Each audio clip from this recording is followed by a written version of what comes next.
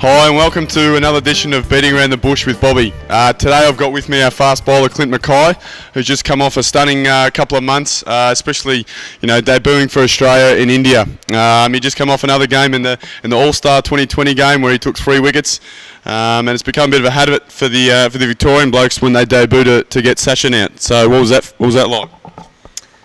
First of all, Rob, we got a microphone, so you pull have to scream into the microphone, we can actually hear you. Uh, second of all, yeah, it was a great sort of thrill being over there, and 10 years down the track, it's probably going to be a better story than the real story when he was 170 off 120 balls, but yeah, it was a great thrill to be out there and be part of it. Definitely good to get him no matter what he's on. Now you uh, you did very well, as I said before, in the uh, in the All Star game. Um, you've done well in India. There's a bit of a combination there of 2020 in India. Any IPL offers of late? No, definitely not. We've actually got Shield games, Rob, coming into the start of the IPL, so that takes priority. Victorian Bushrangers, so hopefully we'll be there for another final, and we'll worry about the IPL after that. So just because there's a Shield game tomorrow, if someone rings you up offering you an IPL contract, you're saying no, sorry, I'm not talking to you. I've got a Shield game tomorrow.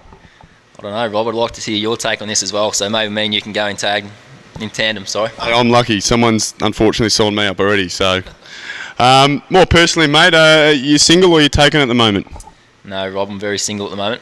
So the, the, rumours aren't true around the change room that you, you might have a girlfriend? No, definitely no girlfriend. Rob's I'm not quite sure we're going with this, but I Have you been single for a while? Uh, actually, a long while, a few years now. So I'm just trying to take the cricket serious, Rob, as you know, and with busy schedules and those sort of things. So more things to worry about. You looking for a girlfriend or happy single? Not sure, Bob. At the moment, I'm happy single, but you never know what's down the track, do you? Okay, when you when you when you're looking for a girl or, or a, a, a, potential partner, is is it looks or personality? Oh, definitely looks, Bob. You know, no, definitely not. You know, nice girl, I would have thought. So, uh, hopefully, one's not far away, maybe. And now, do you expect do you expect the same back from the girls? Like, do you expect them to see you for your looks or your personality? I'm hoping personality because I'm not a great looking fella. And the big ears and they stick out a little bit. So hopefully, hopefully, just charm them. Yeah, oh, that, that, was my next topic. Was going to be your ears. Do you uh, do you cop much grief about your ears?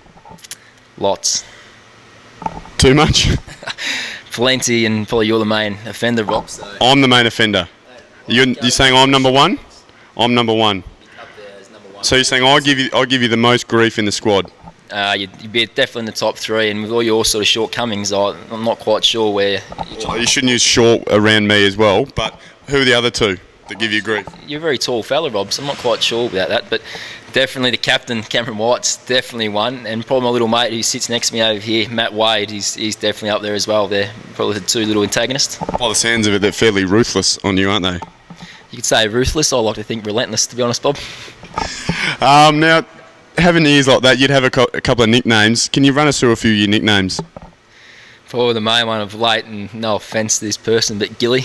Um, he's probably the his ears stick out a bit too, but apparently so do mine. So that's probably the one I've been pigeonholed with lately. Hopefully you're as uh, as, as successful as he was.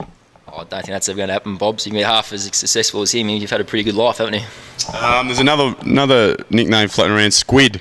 Where does that come from? Uh, I think Hodgie made that one up, but to be honest, I'm not quite sure. I think it's because I was a bit fat and something to do with that. So nothing to do with your loose loose skin looking like tentacles. Oh, I don't know. Hopefully I can lose some weight and lose that one pretty quick. I reckon you looked alright in that kit the other night in the All Star match.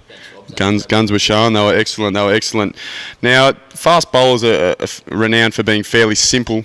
Um, do, you, do, you, reckon you fall into that same category? Well, I passed year 12, so I think I'm going a bit better than a few other bowlers floating around here. Names, please. Young Jay Pattinson may have to go back a couple of times. We won't worry about that. He's a good friend of mine, so hopefully he doesn't hear this though. Had a million dollars, which there's a chance you're going to have a million dollars in the next 18 months. What would you do with it? I'd probably take you out for dinner and be the first one, Bob. That'd be first. Oh, enjoy your company. I'd probably buy that slab I actually do over Asahi as well. So a VB, so I agree. But uh, we won't worry about that. Asahi with them anyway, I think. Oh, that's okay then. Maybe Asahi then. Probably the first one, Bob, and enjoy your company. So maybe we can maybe go have a nice bottle of wine after that. All right, Clint. Well, thank you very much for, for your time, mate, and good luck in the in the upcoming Shield game.